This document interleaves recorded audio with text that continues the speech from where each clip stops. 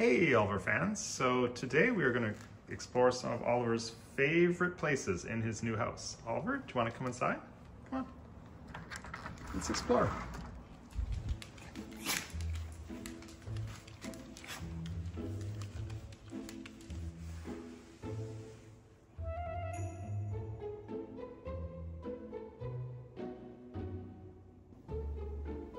And this is where Oliver spends most of the day. He likes to sleep here on the sofa. Oh, I guess you're not sleeping, Oliver.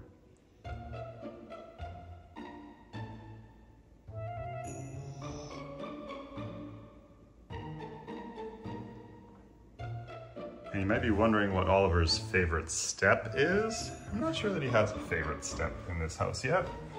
But right now he's lying on this one, and I think it's because the sun is there, and he really likes lying in the sun.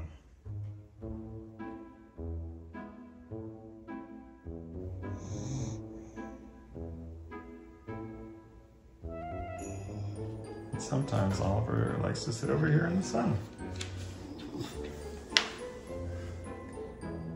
Like it, Oliver? I think he's waiting for his lunch.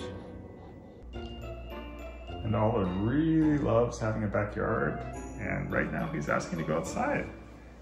I don't know why, I don't think he needs to use the bathroom. I think he just probably wants to see what's going on. Maybe hang out with the squirrels a little bit, sit in the sun. What do you think, Oliver? Do you like your backyard?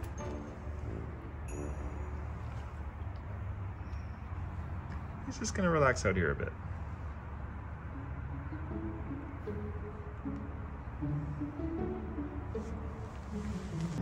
And as you can see, Oliver loves his backyard so much, he treats this artificial turf almost like a trampoline.